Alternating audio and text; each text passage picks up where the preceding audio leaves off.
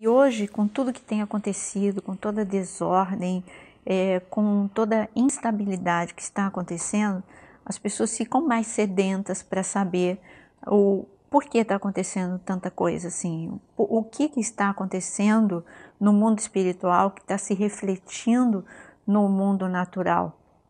Isso tem a ver? Claro que tem a ver. Deus tem controle de todas as coisas. Deus tem controle da história. Deus tem controle é, Deus tem controle, ele, ele prepara o cenário daquilo que ele mesmo já anunciou. Por isso que é tão importante nós falarmos de um assunto, ainda não comecei a falar, estou esperando você que está chegando. É, é tão importante a gente falar de um assunto que durante o dia nos meus stories eu falei, não é popular. Não é o, o assunto que vai superlotar uma igreja, que vai superlotar ou, ou que vai ter uma super audiência, mas eu não estou aqui para isso, estou aqui para realmente para falar aquilo que tem que ser dito.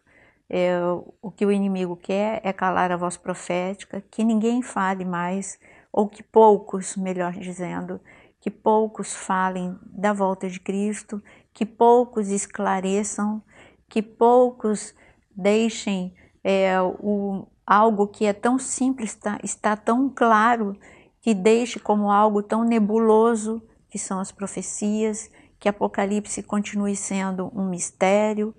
E Jesus não, quando ele veio no seu ministério, ele quis mostrar, ele só ele falou dos assuntos mais urgentes. É claro que ele falou de salvação, ele falou de libertação, ele mostrou que ele era o Deus que curava, mas ele não deixou esse assunto últimos dias de fora.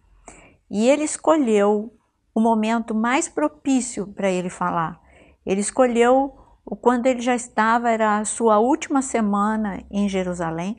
Claro que ele falou antes, sim, mas para ele explicar em detalhes, ele, ele, ele escolheu a última semana que ele estava em Jerusalém no seu ministério aqui na terra para falar desse assunto lá em Mateus capítulo 24. Mas eu queria começar um pouco antes de Mateus capítulo 24, bem antes.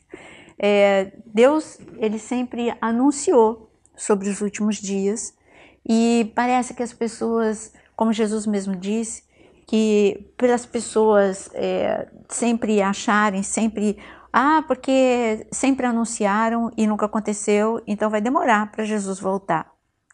Sempre foi anunciado, sim, Sempre foi anunciado que Jesus iria, que o Messias viria. Sempre, por quatro mil anos, sempre foi anunciado. E chegou o dia em que ele veio à Terra e toda, todo mundo estava como? Esperando, havia uma comitiva, porque afinal de contas, nas profecias apontava tudo para o nascimento de Jesus. Miqueias tinha falado, todos os profetas tinham dado endereço aonde aconteceria, aonde o Salvador nasceria. Poxa, e, e tinha em Belém, tinha alguém esperando, tinha alguma expectativa? Não, expectativa zero. Sabe por quê? Porque todo mundo sabia de tudo, mas ninguém é, estava aguardando esse dia. Achava que ainda é, sempre esteve longe e continuaria longe. A mesma coisa aconteceu com Noé, por isso que Jesus disse lá em Lucas 17 que os últimos dias seriam como os dias de Noé. Por quê? Porque Noé, ele falava, ele falava, a vida de Noé, é, depois que Deus pediu que ele construísse a arca, a vida de Noé por 100 anos girou em torno desse assunto e ele fez, envolveu a sua família nesse assunto e ele, colocou, e ele começou a trabalhar sobre o que Deus tinha falado para ele, que era um, o, o fim daquele tempo, daquele mundo que ele vivia. As pessoas acreditaram, as pessoas ouviram. Jesus também disse que os últimos dias seriam como os dias de Noé. Por quê? Porque os dias de Noé havia algo que tem nesta geração. Nessa geração há uma surdez espiritual. As pessoas, isso também já estava anunciado. O Senhor disse que nos últimos dias as pessoas, em Timóteo, o Senhor disse que nos últimos dias as pessoas teriam coceira nos ouvidos. Gostariam de ouvir, sim, coceira no ouvido, eu quero ouvir, eu quero ouvir muita coisa e muita gente. Coceira nos ouvidos para ouvir, mas só ouvir aquilo que ele quer ouvir. e para isso as pessoas se cercariam de mestres que falassem aquilo que eles querem ouvir. E hoje o que, que as pessoas querem ouvir na igreja? Tudo vai dar certo, tudo vai dar bem, tudo, você é maravilhoso, você é fantástico, é, você não precisa fazer mais nada, é, a graça, enfim, mas não é anunciado, é, é poucos anunciam é, palavras de arrependimento, de santidade e de volta de Cristo. Porque quando você fala de volta de Cristo, você fala de preparação. Eu não posso simplesmente ter uma expectativa, eu tenho que ter uma expectativa e tenho que me preparar para isso. Sempre que havia um cumprimento profético, Deus anunciava que tinha que se preparar. Quando ele desceu no Monte Sinai, no primeiro Pentecostes, ele falou para Moisés: manda o povo três dias se preparar. No terceiro dia, eu vou descer e, e, e o Senhor diz na palavra que ele, veio, que ele virá buscar uma noiva sem mancha, sem mácula, uma noiva preparada. Né? Na cultura judaica, nós, se nós formos ver como é que um casamento, como é que funcionava um casamento judaico, você vê como qual era a expectativa da noiva, qual era o procedimento para o noivo chegar até a noiva, e aí nós entendemos um pouco mais de profecia. Mas eu disse que eu ia ler antes de Mateus 24, eu gosto muito de Jeremias capítulo 8. E, Jeremias capítulo 8 está escrito o seguinte: O Senhor diz, até a cegonha, 8, versículo 7. Até a cegonha no céu conhece as suas estações. Primeira comparação aqui, opa, é, primeira comparação que ele faz é Deixa eu contar um segredo aqui para vocês. Quando eu falo de profecias, eu gosto da minha Bíblia caindo aos pedaços. É essa aqui. Só pus uma capa nela, mas ela está caindo aos pedaços. Então, Jeremias capítulo 8, primeira coisa que ele fala, ele fala de, ele faz uma comparação com animais, cegonhas. Por quê? Porque um animal, ele obedece, ele obedece a Deus. O instinto é uma obediência a Deus. A águia, ela faz o seu ninho na rocha e no alto monte, em obediência a Deus. E é um instinto, o instinto, quem, quem que colocou instinto no animal? Foi Deus, e os animais, eles obedecem. Então ele faz essa comparação com animais que estão, eles estão sensíveis a, ao instinto, sensíveis à voz de Deus, até a cegonha no céu conhece as suas estações. E Peraí. E a rola, a andorinha e o grol observam o tempo da sua arribação, mas o meu povo não conhece o juízo do Senhor. Então, o que, que ele está dizendo aqui? Que os animais, ele fala de aves, que conhecem o tempo da sua arribação. O que, que é o tempo de arribação? O tempo de arribação é o tempo de migração, é o tempo de acasalamento. Então, ele está falando, até os animais conhecem a estação do encontro, a estação do acasalamento, a estação de mudança de ambiente, de mudança de lugar. Mas o meu povo não conhece. Nós, nós precisamos atentar que tudo que acontece ao nosso redor é, tem um paralelo espiritual. Deus colocou e estabeleceu estações para que tudo funcione de uma forma adequada. Tem primavera, tem verão, tem outono, tem inverno e nós entendemos o tempo, eh, nós conhecemos as estações, mas Deus está falando: será que você conhece as estações espirituais? Nós estamos vivendo um final de inverno muito rigoroso, espiritualmente falando. Quando a gente fala de inverno, a gente fala de tristeza, a gente, pelo menos assim, o, o, brasileiro, ele fica mais triste. Mas se você for ver, quando a gente vai para a Europa, a gente fica assim encantado de ver como as pessoas valorizam o sol. Aí você vai ali em, em, Paris, você vê os franceses é, pegando, não tem vergonha, pega sua cadeira de praia e põe no, perto ali na beira do rio Sena, ou põe num parque. Eles não têm vergonha, eles querem é aproveitar o sol porque o inverno ele deixa a pessoa mais fechada, mais triste, é, um tempo de rigor, um tempo de dureza, e nós estamos espiritualmente vivendo sobre a humanidade um tempo de inverno. Mas depois do inverno, tudo vem a florescer. E é quando a gente pega o livro de Cantares, o Senhor fala: o inverno já passou, amada minha, vem. E ele diz, ele chama: o inverno já está passando, vem, vem ao meu encontro. Então, este é um momento que as pessoas estão querendo encontrar a si mesma. Elas querem é, encontrar a melhor forma, as 10, eu falei na pregação semana passada. É, sabe como é que você faz sucesso? Você começa a escrever ou anunciar as 10 formas de você ser mais feliz, as 10 formas de você ficar próspero. E assim vai por diante. Esse é um tipo de coisa que vai atrair muito público. Agora, quando, se você anunciar assim, tipo, é, live dos últimos dias, não, tem, tem alguns que realmente são apaixonados, mas não, não atrai tanto, porque isso não vai é, teoricamente, na vida, muitos pensam que isso não vai mudar a vida deles, mas eu disse que vai, digo para você que vai mudar. Muda porque começa, primeiro que você entra em sintonia com o céu, você entra na estação certa do céu e você começa a ouvir mais Deus. Quando você começa a ouvir mais Deus, você uma unção diferenciada é derramada sobre a sua vida. É por isso que nós vamos entrar depois na parábola das dez virgens sobre essa sintonia, sobre essa medida de unção a mais que Deus está derramando nesses últimos dias para aqueles que estão atentos. Mas eu, eu dei só uma.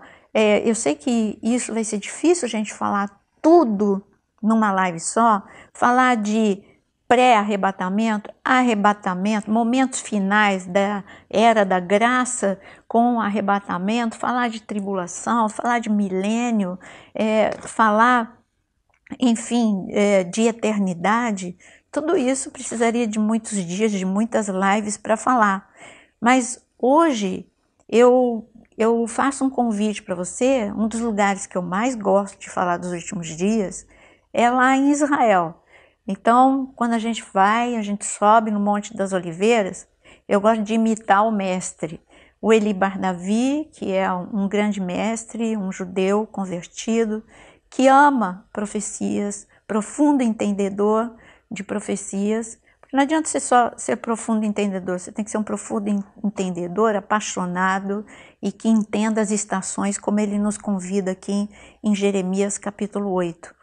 E então quando a gente sobe lá ao Monte das Oliveiras, eu amo, é, e ele ama, falar, e fala parte ele, parte eu, de falarmos sobre os últimos dias, não só lá, em outros lugares também, mas ali é o nosso lugar preferido, no Monte das Oliveiras, para falar. Por que, que é o lugar preferido? Porque só para imitar o mestre. Eu amo imitar o meu mestre.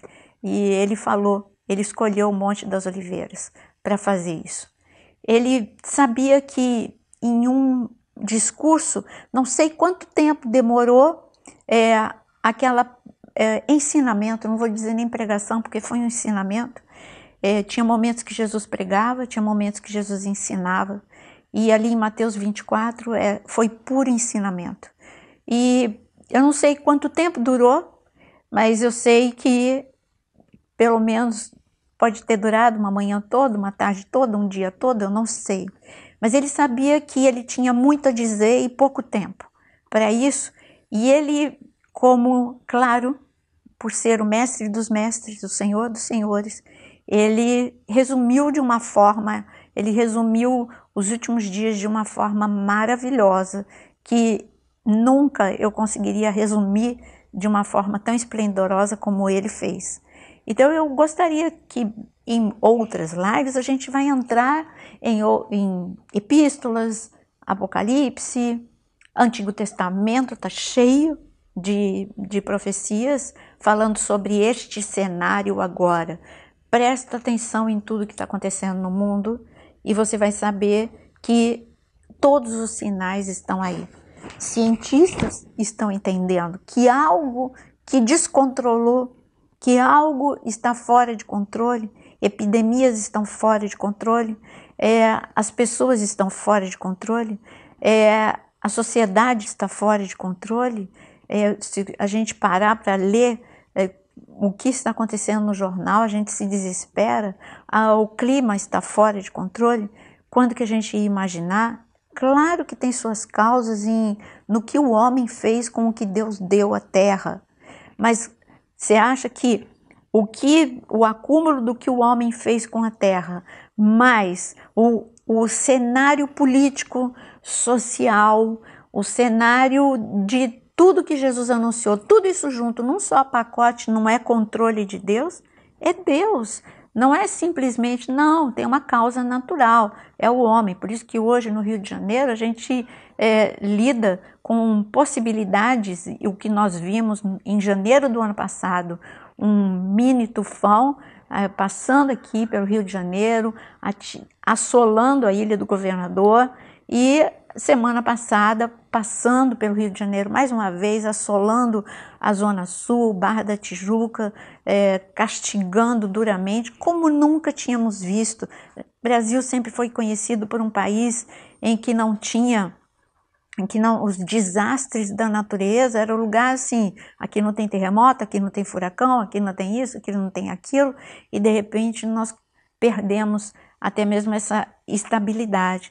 Tudo isso junto, o que está acontecendo com o cenário do Oriente Médio, tudo isso é cumprimento profético.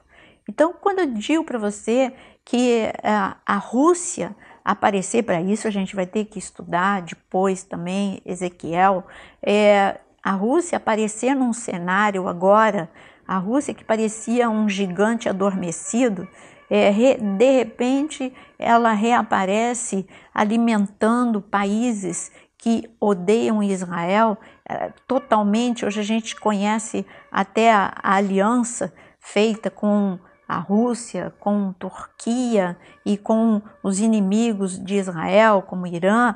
Então é chamado em Israel de Tríplice Aliança, é a Tríplice Aliança contra Israel, porque abrange tudo, abrange Israel de todos os lados. Então, todo esse cenário é um cenário que o Senhor mostrou na palavra.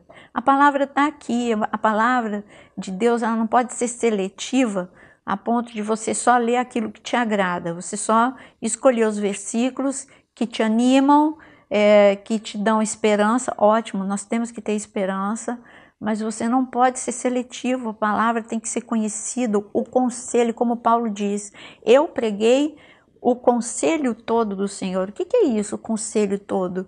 Eu preguei o evangelho completo, e o evangelho completo é arrependimento, é volta de Cristo, é libertação, é cura física, é cura emocional, é crescimento, é mudança, é transformação, é mudança de caráter. Este é o evangelho completo. E não só um, um púlpito onde você só vai. Uh, hoje as pessoas querem que um pregador seja um animador. E não é bem assim. Um pregador, ele é um oráculo de Deus e ele tem que falar a verdade. Por isso eu estou aqui para falar a verdade para vocês. E Mateus 24, deixa eu abrir aqui. E se você tiver é claro que se você abrir o teu, o teu telefone, você vai, não vai você não vai estar, tá, é, vai sair da live. Então pega a tua Bíblia, de vez em quando é legal você usar o papel, né? Então, Mateus 24, olha o que está escrito. Versículo 1, tá bom? Tendo Jesus saído do templo, ia se retirando quando se aproximaram dele os seus discípulos para lhe mostrar as construções do templo.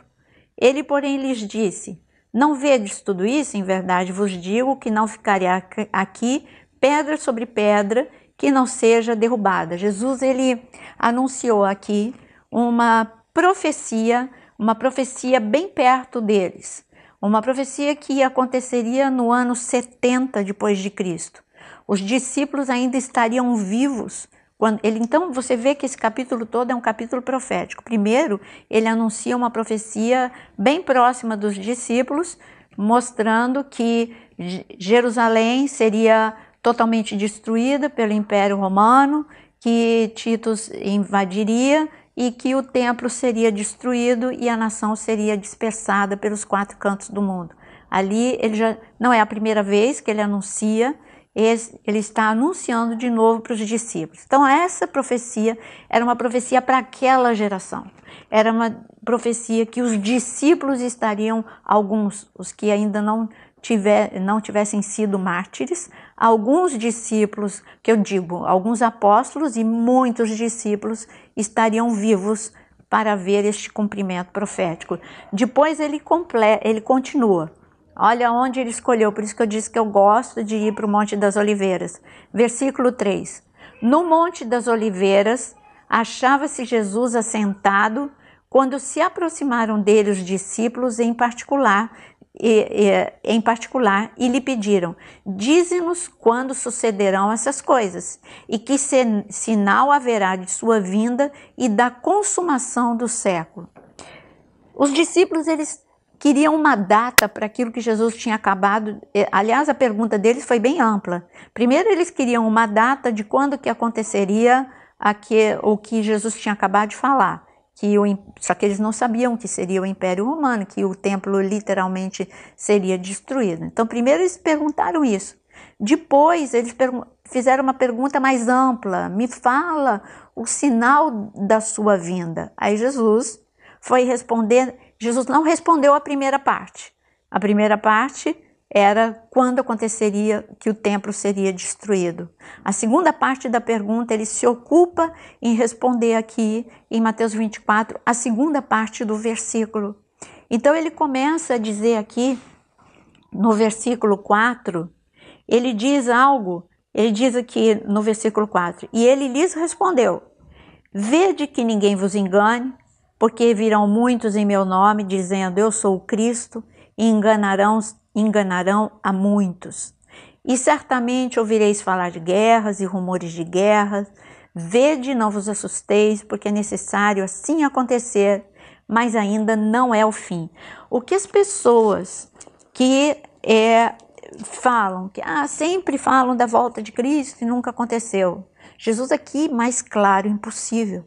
Ele está dando dicas, ele está falando claramente. É porque a Bíblia é para ser lida. Primeiro, você pedir que o Espírito Santo eh, te ajude, porque ele te ensina todas as coisas. E segundo, que você leia com vagar. Que você, que lembra a quarta-feira, a quinta-feira passada, cuidado com a síndrome do pensamento acelerado, você lê pensando em outra coisa, leia como um encontro com Jesus no Monte das Oliveiras. Eu faço assim, sabe? Eu vou para o cenário que Jesus estava, me sento aos pés dele para ele falar comigo, me desligo de tudo e de todos para que ele fale comigo. Então ele vai falar: peraí, ó, eu estou ensinando em partes.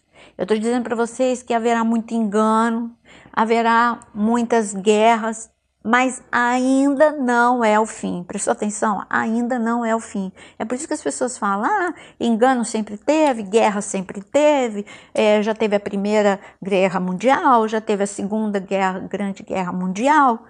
Então é porque você não prestou atenção. Você compra frases prontas de outras pessoas e não prestou atenção que Jesus disse: não, mas peraí, eu só disse que o mundo vai ficar assim, mas isso ainda não é o fim. Eu vou um pouquinho mais para frente dizer como que é o fim. Então aqui ele está falando, e quando ele fala de engano, a gente pensa assim em seitas, a gente pensa em coisas mais claras, mais evidentes. Eu digo para você que engano é muito sutil. E Jesus disse, ele mesmo disse aqui, de que se possível fosse, o diabo gostaria de enganar os escolhidos. E eu tenho visto isso. Eu tenho visto que as pessoas estão sendo enganadas é, não por heresias, não por falsos profetas, mas estão sendo enganadas é, em não quererem ouvir e nunca ser falado sobre assuntos do reino de verdade. Tanto se fala de reino, reino, reino, reino. Mas peraí, tem se falado do assunto principal? O assunto principal de um casamento não é a cor do, do vestido da madrinha, não é a comida, o cardápio. O que é principal? Pode a madrinha não chegar no casamento, o casamento vai acontecer. Pode a madrinha escolher a cor errada e mesmo assim o casamento vai acontecer. Pode o cardápio ter sido mal escolhido, mas mesmo assim o casamento vai acontecer. Pode o local da festa não ter sido o melhor, mas o principal não é o, o, o, a festa, não é o, a cor do vestido, não são os convidados. O principal da festa é o noivo e a noiva. E o que é, o corpo de Cristo está perdendo foco é no noivo e na noiva. Se fala de tudo. Se fala de cor, se fala de como ser mais bonito, como ser isso, como ser aquilo, como ser mais aceito, enfim, se usa filtros e mais filtros até mesmo nas pregações, porque o filtro das mídias sociais parece que ele foi também para os púlpitos. Eu não estou aqui como crítica, eu estou aqui, sabe, só está me ouvindo quem quer realmente ouvir sobre esse assunto. Senão você vai mudar de ou vai fechar, não quer mais ouvir, ou você vai mudar para ver algo mais interessante. Mas então eu estou falando com você que ama profecias. É isso que tem acontecido com o corpo de Cristo. Jesus, ele falou muito claramente aqui em Mateus 24. Mas vamos continuar aqui. Ele diz, então, é, se levantará e nós já lemos, né? mas eu, eu quero ler aqui, agora o versículo 7. Porquanto se levantará nação contra nação, reino contra reino, haverá fomes, terremotos em vários lugares. Porém, tudo isto é o princípio das dores. Tá vendo como Jesus é claro? De novo, versículo 7, ele é muito claro, porque as pessoas que vêm falar comigo, aí vêm e falam assim, mas terremoto sempre teve, guerra, é, é, aqui está falando de reino se levantar contra reino, sempre teve. Jesus falou o que agora? Neste outro versículo, o que, que ele falou? Ainda não é o fim, é o princípio das dores.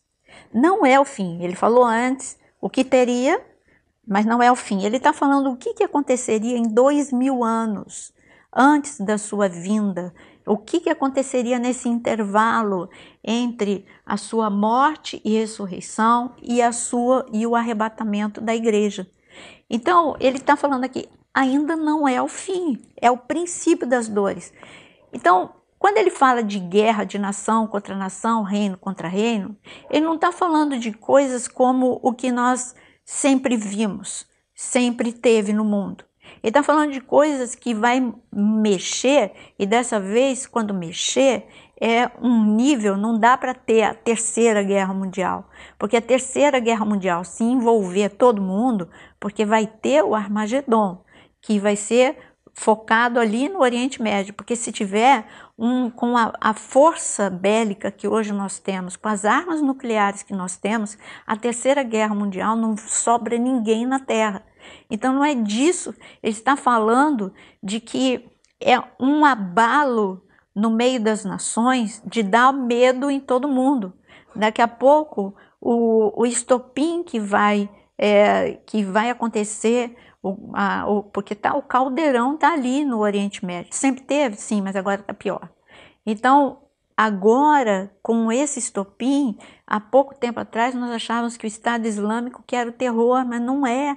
O Estado Islâmico enfraqueceu, mas a Rússia, o Irã, o Iraque não enfraqueceram. A Turquia não, não estava como aliada, mas ela já está como aliada. Já mudou todo o governo, já mudou todo. Mudaram os governos na, ali ao norte de Israel.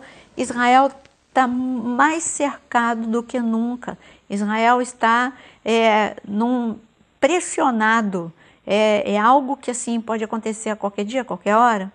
Mas o que eu estou falando aqui é que Jesus falou assim, olha, mesmo os terremotos, só que agora a gente não fala de um de um pequeno terremoto. Hoje os cientistas eles estão anunciando é, de nós estamos falando de grandes tsunamis como nunca vimos por causa do degelo é, muita coisa vai ser desencadeada. Ele, o Senhor está falando de, de algo que de uma magnitude que nós nunca vimos. O Senhor está falando de desastres de magnitude que nunca vimos. É, você vê o 2019, como nós começamos 2019, parece que é uma tragédia atrás da outra. Ele está falando de um tempo de instabilidade, um tempo em que as pessoas têm medo até de acordar por aquilo que vai acontecer. Ele está falando de super vulcões. Digita lá no Google e ver o que é que está no, no Parque Yellowstone, que a maior parte das pessoas só conhecem, as pessoas com uma geração mais antiga, né? Que as pessoas só lembram por causa do, do urso Zé Colmeia, mas digitam lá em Yellowstone Park e você vai ver o que é que os cientistas monitoram dia e noite, porque ali é esperado que um super vulcão pode entrar em atividade a qualquer momento. Ele está lá, entendeu? Então, o que eu estou dizendo é que o cenário está pronto. Isso tudo é para assustar? Não, é para é para dar esperança, porque enquanto o Espírito Santo estiver aqui, enquanto a igreja está, estiver aqui, o, o, o pior está sendo detido. Inclusive, o espírito do anticristo já está no nosso meio. Quando eu falo do espírito, estou falando de atmosfera espiritual. A atmosfera espiritual de anarquia, de violência, de, de perversão, ela já está. Atmosfera é, espiritual de rejeição aos verdadeiros profetas de Deus já existe. Jezabel está mais forte do que nunca e os profetas, verdadeiros profetas de Deus, os Elias da vida que Deus tem levantado nos quatro cantos do mundo, sofrem. Isso tudo faz parte dos últimos dias. As pessoas não querem ouvir, não querem ouvir quem fala como Noé, não querem ouvir quem fala como Elias, não querem ouvir quem anuncia a palavra. Então, é, o Senhor ele continua aqui em Mateus 24, ele diz no versículo 9: então sereis atribulados e vos matarão, serei odiados de todas as nações por causa do meu nome. Nesse tempo muitos hão de se escandalizar, trair, odiar uns aos outros. Levantar-se-ão muitos falsos profetas e enganarão a muitos. E por se multiplicar a iniquidade, o amor se esfriará de quase todos. Tudo isso ele está falando antes do arrebatamento. Por isso que as pessoas não entendem, não, mas Jesus sempre falou. Até aqui, Jesus só está falando do que vai acontecer antes do arrebatamento. Ele fala aqui, e você ouviu, que haveria, nos últimos dias, haveria muita traição. É o que a gente mais vê, é o que a gente mais é, ouve nos ministérios. É, parece que a palavra aliança, fidelidade, pertence à minha geração. A minha geração, eu me converti em 74. Então, ali em 74, eu não nasci, infelizmente, eu não nasci num lar evangélico, mas eu conheci o que é aliança e fidelidade. Eu tive e, e não é, eu não era isolada, era geral. As pessoas conheciam o que é a palavra fidelidade e o que é a palavra aliança. Hoje as pessoas parecem que saem correndo atrás de novidades ou de superstars gospel e fidelidade e aliança é uma palavra que é um pouquinho eh, ficou um pouquinho desconhecida. Os relacionamentos são superficiais, as alianças são superficiais, simplesmente porque Jesus já tinha anunciado isso, que o amor se esfriaria. Quando se esfria o amor, a aliança quebrou. Então é muito fácil, por isso que é tão fácil, por isso que a aliança dos casamentos estão sendo quebradas tão facilmente, porque o amor esfriou. É melhor eu trocar, é melhor eu ver é, se eu vou ser feliz de outra forma. E a mesma coisa, isso se transfere o que você pensa em relação ao casamento, você transfere para a igreja, você transfere para as amizades, você transfere até para emprego. Então, você é, voltando um pouco à gestão emocional, foi provado de que os jovens, a geração é, X, a geração Z, é, elas são, é, não existe uma estabilidade, elas por qualquer coisa mudam de emprego, não, é, não trabalham a resiliência. Mas hoje não é dia de gestão emocional. E aqui, como Jesus falou, ele disse que haveria então muitos escândalos, é o que a gente mais vê. E ele diz aqui sobre sermos uh, atribulados e mortos. Eu digo uma coisa para você. Quando que nós pensaríamos que nós veríamos, um, nós vimos um holocausto de judeus, mas eu digo que nossa geração viu, e não é porque parou a televisão de mostrar que o holocausto de cristãos acabou no Oriente Médio. Existe um holocausto, eu estive na Jordânia e, e ali eu fiquei é, durante dez dias, eu fiquei só com os refugiados. Eu fiquei com refugiados sírios e refugiados iraquianos. As histórias que eu ouvi não, é, não são histórias de dez anos atrás, nem de dois anos atrás. As histórias que eu ouvi foram histórias que aconteceram semana passada, seis meses atrás, dois meses atrás, como por exemplo um iraquiano que me deu carona e nós conversamos da forma mais inédita possível com o Google Tradutor, ele falando em árabe e, e saía no Google Tradutor em inglês e vice-versa. Então ele estava me contando a história dele, que quando ele se converteu, ele só teve a opção de deixar tudo ou morrer. E então ele preferiu deixar, ele tinha uma estabilidade. Ele tinha uma estabilidade, ele é, é um profissional, ele tinha profissão lá no Iraque, mas ele decidiu, por amor a Cristo, deixar tudo para trás. E eles só deram a opção, ainda que para os iraquianos, deram essa opção de, de deixar tudo ou morrer. Ele teve essa opção, mas os sírios com quem eu conversei não tinha essa opção. Conheci, conversei com sírios que caminharam por muito tempo no deserto até chegar na Jordânia, é, porque eles só tinham a opção de, de morrer e muitos morreram e outros fugiram para o deserto. Perderam tudo por amor a Cristo, tudo isso é holocausto, é o holocausto cristão. É, um outro iraquiano me disse, ele levou tiro, foi algo sobrenatural, ele levou tiro do próprio pai, quando o pai soube que ele se converteu, o pai atirou nele de forma sobrenatural, o tiro não o atingiu.